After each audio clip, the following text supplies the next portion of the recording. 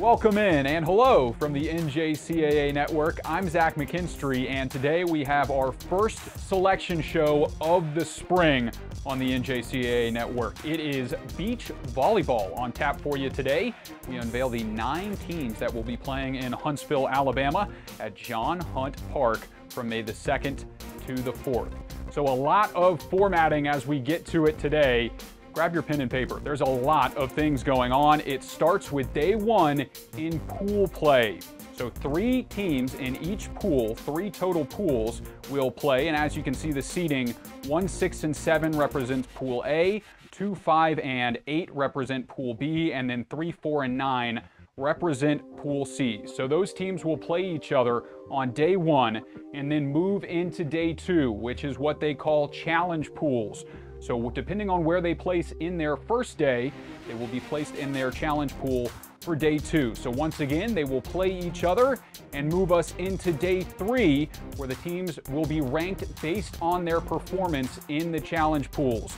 So the top six teams, the first and second place in each of those challenge pools, will be seeded one to six, with those one and two seeds getting a bye to the semifinal, and the four and five and three and six having to play their way into that Final Four. And meanwhile, those bottom teams in the challenge pools will play in a consolation bracket at the bottom of the bracket. So that's how the tournament shakes out. Once again, it is from May 2nd to the 4th. And let's go ahead and unveil our seeds, starting with the number one overall seed in Pool A. It is Palm Beach State. The Lady Panthers claim their second Region 8 championship in a row by sweeping Lake Sumter State to clinch the automatic berth and earn the top spot. The winners of the inaugural championship last year swept all six of their opponents en route to the national title, and they look dangerous again as the number one seed. Second team in Pool 1 will be Mesa CC. The T-Birds return to the national tournament after going 3 and 3 in 6 games last year to take 6th place. Amaya Evans and Taylor Erickson have led the way as the top pairing this year and they carry a 13 and 8 pairing record into Huntsville.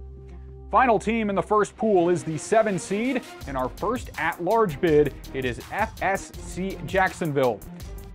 In their first season, the Blue Wave will make it to the national championship tournament as an at-large bid.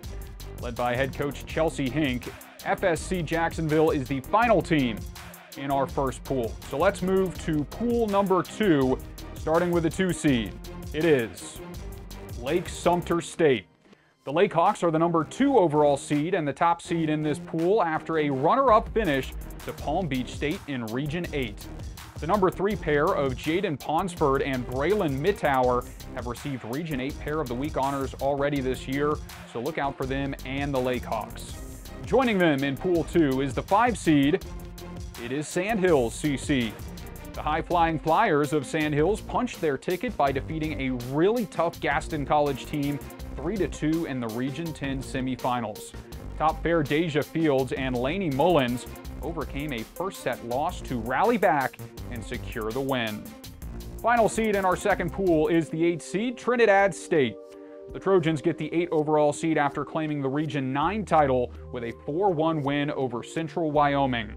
They'll have a tall task ahead of them with this pool, but excited to see how it plays out. Final three teams in the tournament, starting with the three seed, it is Richard Bland.